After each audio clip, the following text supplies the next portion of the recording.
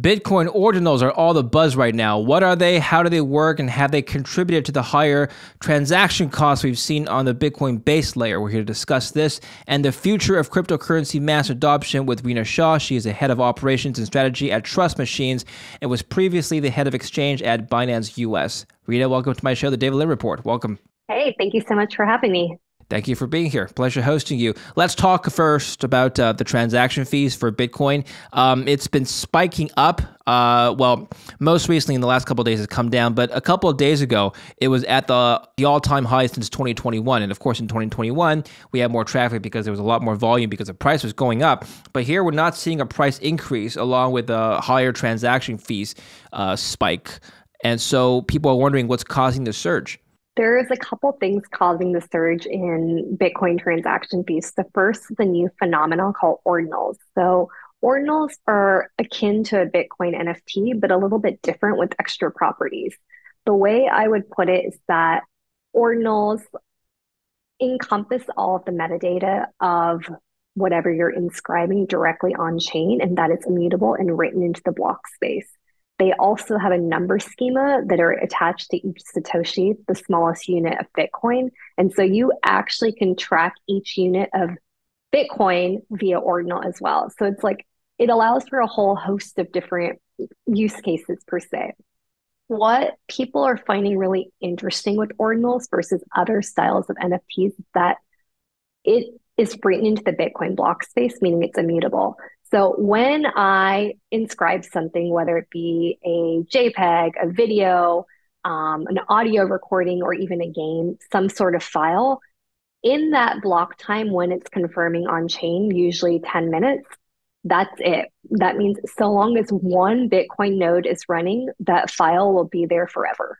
It's a lot more powerful if you think of that in comparison to like cloud storage, because this is not centralized run. It's run by the most decentralized blockchain to exist. So let, us drill a bit deeper. So why are people building NFTs called ordinals on Bitcoin? To my knowledge, it's a recently it's a it's a recently launched uh, protocol, right? I think as of January 2023, it was launched. So um, yeah. Yeah, so NFTs traditionally were built on other protocols like uh, Ethereum. Ethereum was very popular for NFT construction, but now people are moving to Bitcoin. Why is that? So there were two kind of grandstanding network upgrades that have made Bitcoin to have a little bit more functionality. One was Taproot, one was SegWit. So basically, you have one increased the amount of space you can use within the block space to four megabytes. And then the second is to batch the transactions to make it a little bit more scalable. Because of that, now people are like challenging the norm of can you build on Bitcoin? The answer is you can build on Bitcoin. And so there has been growing chatter per se that Bitcoin deserves to have more functionality to be more productive because it is the most liquid of asset classes in crypto. And so people are moving away from instead of building on chains or other protocols per se that are more centralized, let's bring it back to the most decentralized blockchain and most secure blockchain. So a lot of people are using ordinals as high value settlements. So think luxury goods on chain as that style of NFT rather than everyday community NFTs. And tell us a bit more about these ordinals. So they were launched a few months ago. Um, what are some of the use cases of ordinals and how do they directly contribute to the higher transaction fees that we're seeing? I think it's a little bit early to tell what the use cases are because we've only been live since uh, late December of 2022. But if you were to equate it to, I want to create something to live forever that has high value, whether it be dollar value, emotional value, you may choose to inscribe it as an ordinal. Um, just the other day, there was a interview with Michael Saylor, and he was talking about he would inscribe his will, his last will and testament, as an ordinal because he wants that to live forever. So it's almost bringing back the idea of if something is important to you, would you inscribe it to keep the digital archive or would you not? How it's increasing to the transaction fees and such is that this is the first time that miners are actually being paid more to process transactions to validate the transactions as opposed to creating a new Bitcoin block. So it's a little bit different from like a paradigm shift of what we've seen over um, kind of the extent the existence of Bitcoin mining. Now it's actually profitable to validate just transactions in addition to mining the block. So there's a two-sided marketplace. Um, and then for perspective, uh, if you're to think about miner revenue right now, we're at an all-time high. Just the other day, I saw data for the mining distributions made, the fees were 29 million in a day. Some has been as high as 40. For perspective, that has not occurred in the history of Bitcoin. So the miners are getting rewarded more because of what's happening now. Is that is that a summary? Right. So there's now demand for the Bitcoin network, demand for the block space. The network is getting congestion. More miners have to come online just to process the transactions. So typically miners have come online to create the new blocks. Now it's let me validate the transactions too. So both sides of mining are being um, utilized more so than ever. And I, am wondering why uh, you would one would even use an ordinal to uh, ins- inscribe a file. Uh, going back to you know whether it be a will if you're Michael Saylor or anything fun, um, why can't I just put that on a hard drive? Do you want it live forever? Do you want it to be free from centralized authority? And do you want it to always be available and unchanged? Um, I'll, I'll go ahead and give a personal example. Uh, I had a loved one pass. I've inscribed every single voicemail that I've had from that loved one. So their voice lives forever on chain. So, in the event that Apple does not own me with iCloud, I have always an archived copy that so long as I run one Bitcoin node, it will be there. That's a powerful thing that that is free from any um, censorship whatsoever, because that's what Bitcoin was used for. Yeah, certainly that's a beautiful example. But uh, I could see um, regulators eyeing this space soon as people start to misuse the system. It wouldn't be difficult to uh, imagine that a, a, a, a cyber criminal inscribe some sort of code that could be damaging, or people steal things and put it on there. Is it accessible to everybody once you ascribe a file? Just the location of the unit of Satoshi that it's inscribed to is accessible, but not my actual file as I've encrypted it. So, like, there are plenty of security measures you can take for whatever sensitive nature of what you're putting on chain. So it's it's kind of a double-edged sword because on the one hand you have this you know this new thing that we can use perhaps uh, uh, a new way to store files safely and. Uh, and, and we have miners being rewarded more, but these transaction fees have made it more difficult to use Bitcoin as a medium of exchange, which, if you look at the Bitcoin white paper, initially it was created as a peer to peer exchange system. Now it's being made to you build NFTs on. So, not what Satoshi had envisioned. what is the solution to higher transaction costs? Yeah, but anyway, go on. So, I would maybe challenge that. So, maybe not quite what Satoshi envisioned for like Bitcoin as an asset, not, but it's, I wouldn't say it's fair for like Bitcoin as a blockchain. So, there are like forums in 20 10 of like Bitcoin talk where Satoshi did envision a world where you build on top of Bitcoin via layers. So like he envisioned a world that you could have like scalable systems built within Bitcoin just on top and may not be to the main main core chain of Bitcoin. So coming back to what you had asked, Bitcoin needs layers to scale. So there are limitations with Bitcoin as of right now. There is no smart contracts platform with Bitcoin like what Ethereum has, right? So you do have to create those verticals to allow it. Now, there are a couple layers on market. You have Lightning, the most popular layer that is used to batch transactions through open channels and make payments very cheap and fast and accessible. You have RSK, which also is a, a layer that allows for smart contract functionality via uh, a drivetrain that's EVM compatible. There is Stacks, uh, another layer that reuses the proof of work consensus mechanism to allow for smart contracts with final settlement on Bitcoin. So you can utilize these layers to build products that scale. Um, and uh, can you comment on any layer twos or layer? I guess we'll stick to layer twos, but any layer two um, systems that you think will gain the most traction over the coming months or years? I think the one that has been gaining the most traction lately has been Stacks with Lightning. So both of those have been gaining traction. Stacks has been because of its unique properties of having Bitcoin final settlement. You can see it as a, an easy way to move Bitcoin from the L1 to the L2, deploy it in your range of DeFi, DAO, NFT applications, and then come back to the L1 when it makes sense for you.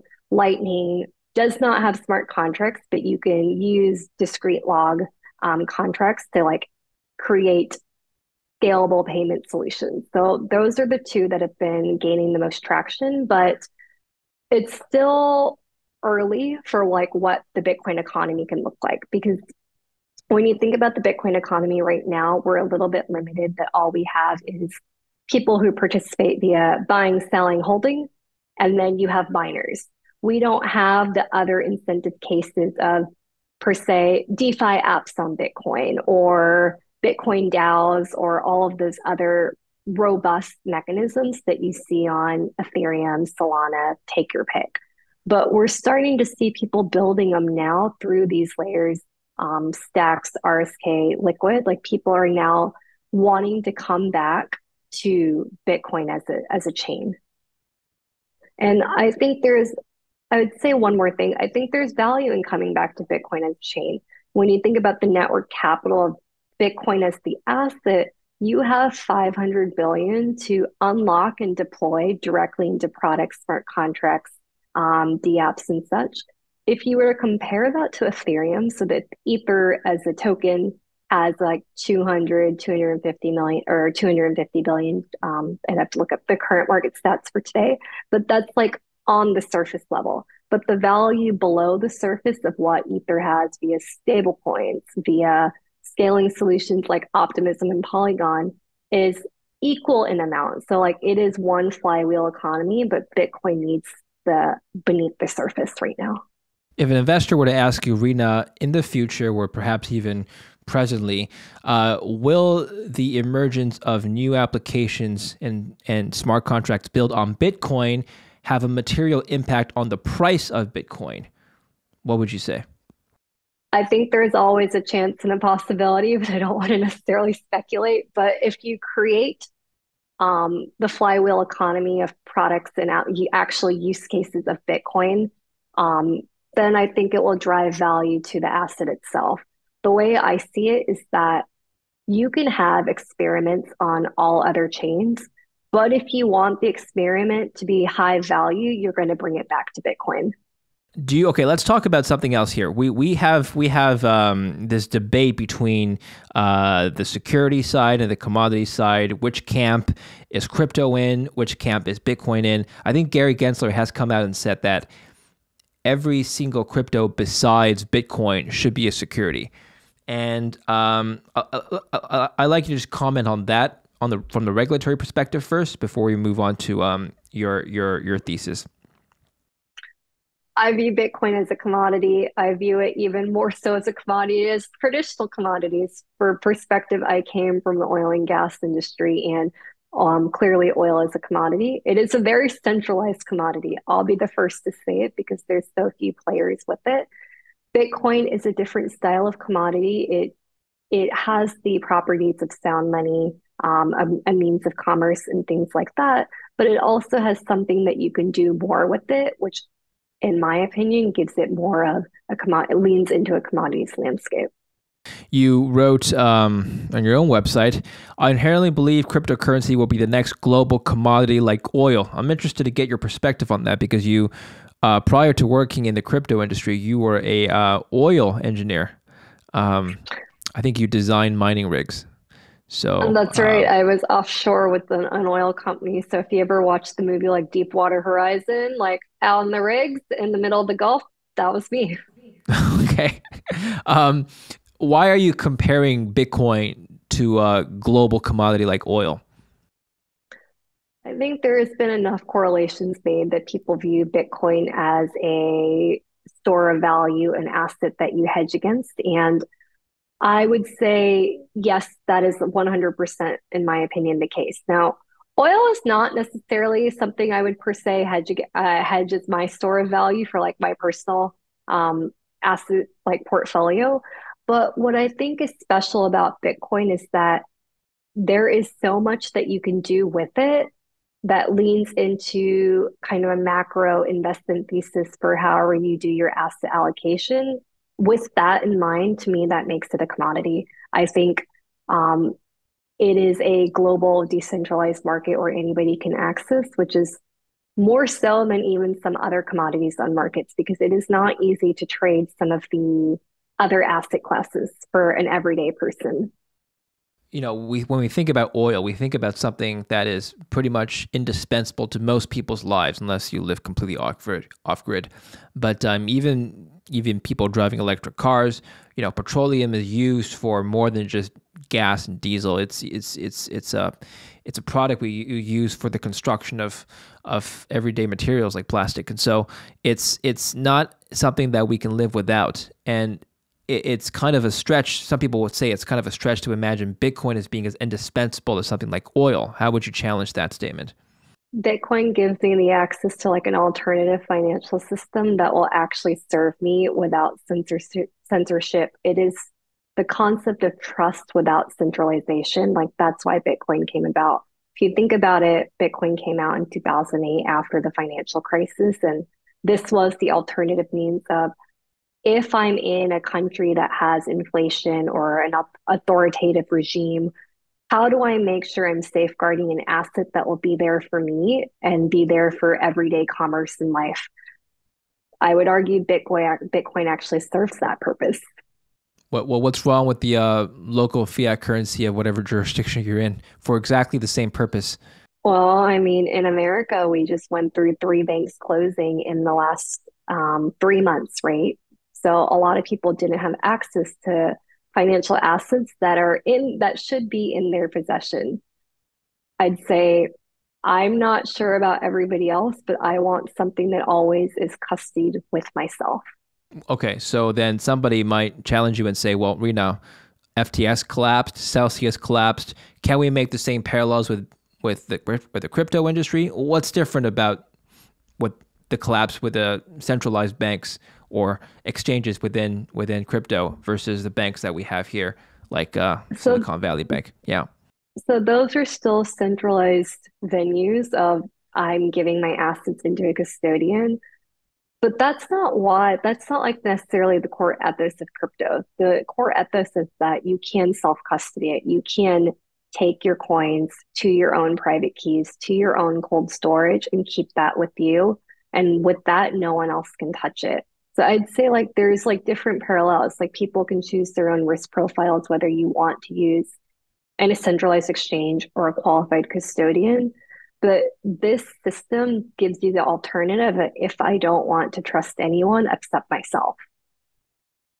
I can't say that with the I can't say that I can do that with fiat unless I withdraw all of my assets, put it in cash, and keep it in some under the mattress like situation. But if I if I use a Bitcoin wallet to custody my wealth, for example, which a lot of people do, I still have the problem of having to convert that to a fiat to use for my daily expenses. I mean, most there, people don't. Yeah. Yeah, I mean, it's still uh, a growing adoption curve for more and more merchants to accept Bitcoin payments, but I won't say that it's not nothing. Like the trend is still emerging more and more so. Like it will it will happen over time. Do you see a company like Apple Pay uh, accepting Bitcoin payments or putting that on their on their um, payment rail? I think there's a possibility like Cash App is doing it. But there's still the problem of the higher transaction costs, right? So to have to be, we have to build a layer two on top of that. Or how do we, how do payment systems mitigate that problem? And slower as well. Like you know, you, you stand in line to, at a Starbucks and you scan with Bitcoin. You have to wait for the block to complete. It's slower than just using your cash. well, I think for the Starbucks example, I would say you could use Lightning Network because that's right. almost instantaneous. Okay. Okay. Um, I, I see your point. Like it's still very early, but our finance this financial system has only existed since 2008. So like we're allowed to like take our time to build it in a sustainable and scalable way. So that leads to my next question, which is how we can get the masses to adopt Bitcoin as either a store of value or a medium of exchange. Um, certainly, you know, the, the, the, crypto market cap overall is still a fraction of equities, bonds, real estate, and every other investable asset class. You know, how, how does Bitcoin become a four, $14 trillion uh, market, which is the size of gold, for example? I think like the access to Bitcoin still has to go mainstream. We're not quite there. So, like, for perspective, I think about 4% of the global population owns Bitcoin. So, a very small percentage. But what's interesting is that you can own any set of Bitcoin. So, you you have like the flexibility for the smallest of unit. In order to get us to like mass adoption and mass scale, there really needs to be stellar usable products with Bitcoin.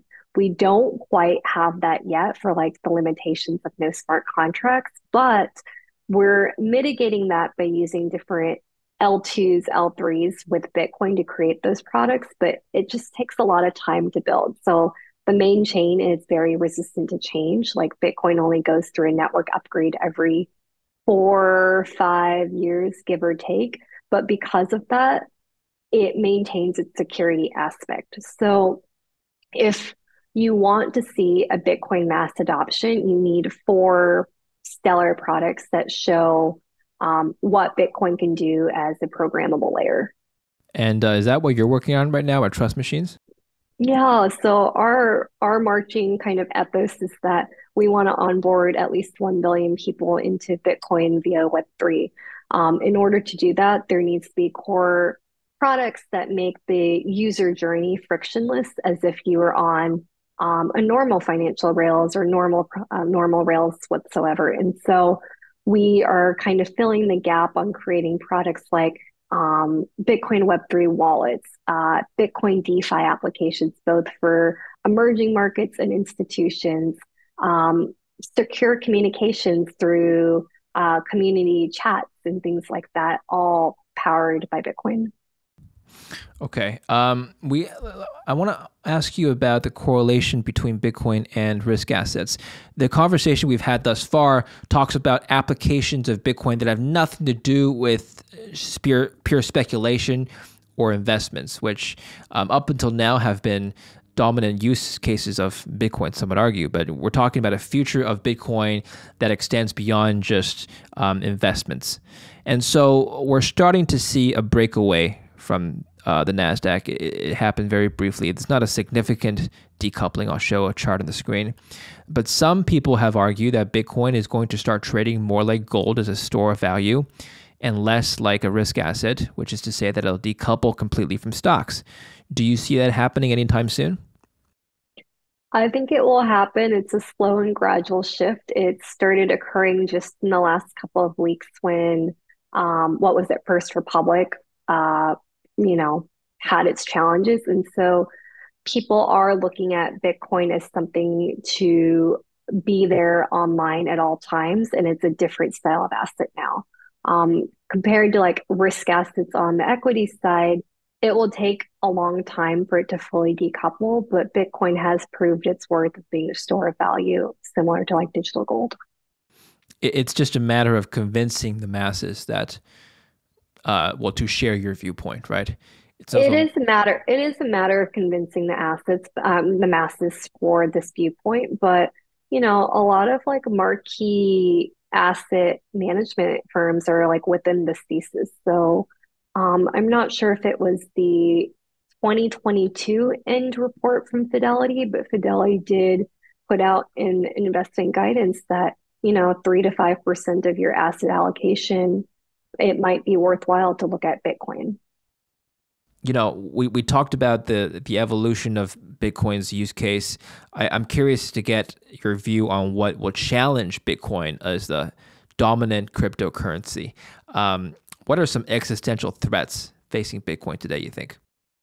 One is that it's finite, so like that's that's all we get. But that's to say the same that other assets like oil, gold are also finite for like what you can actually extract and recover as well. I think the other challenge with Bitcoin is that um, it is difficult to build on and it is difficult, it is like somewhat resistant change. Um, so to add the scalability functionalities that you need to make Bitcoin widely used, it will take some time. But what I find kind of inspiring about Bitcoin than like others is that because it's decentralized, because anybody can participate by um, acquiring some position of Bitcoin or uh, participating in governance, I find this to be different. Lastly, have you ever bought Pepe coin? I have not bought Pepe coin. I am curious about it. I think it's fun that um, there is some lightheartedness in the industry with meme coins and such. And, you know, uh, the, the frog is the new dog. Yeah, it's all fun and games. I have to say that it's all fun and games until somebody gets rug pulled. Every now and then you get a meme coin that's just a scam. I'm not saying Pepe's a scam. I'm just saying that some others have been that way. Um, Certainly, we've seen an increase in gas fees. I don't know if they're correlated. Yeah, I'll let you comment. Pardon. I'll, I'll let you comment on um, on on on on gas fees on on Ethereum, and whether that's related to uh, the meme coins that we've seen pop up. I think there is some loose correlation. I think Pepe, the one that you're ta- asking about, it within um, like a few weeks, it has, I think, almost a billion dollar market cap within like a couple weeks. That's not nothing, and it's definitely adding to some network congestion and increased fees for Ethereum. But uh, but luckily, Ethereum is going through um, has just gone through an upgrade, so scalability is coming. What would change your mind about Pepe? Somebody, somebody, let's say, comes to you and says, "Rena, buy a meme coin, buy Pepe. Well, it's Pepe today. It doesn't matter. It could be Pizza Coin. It could be whatever Doge 3.0. You know." And, and you ask you ask that person why, and he says, "Why not?" What's the rest of this conversation? give me some utility show me what pepe can do for me is it like um, a token that gives me membership into a community to exclusive benefits? Is it um, like LinksDAO where your membership allows you to enter the golf course that they bought? Show me some utility. I just haven't seen it from Pepe, but that's my personal opinion. Um, I, have gotten the opinion that no, actually, it's not an opinion. I think they've stated by their own admission it doesn't do anything. Uh, well, but... then, then, then, then let it live on like Doge. Doge was the icon for Twitter for a while. So let's not forget that there's some utility there. But thank you, Rena. I appreciate your uh, insights. And uh, can people learn more about your work in Trust Machines? Where can we go? Um, I'm on Twitter. The handle is Rena P. Shah. And uh, if anyone wants to reach me, my email is rena at trustmachines.co. Okay, excellent. Thank you for your time today. Thank you very much. Appreciate it.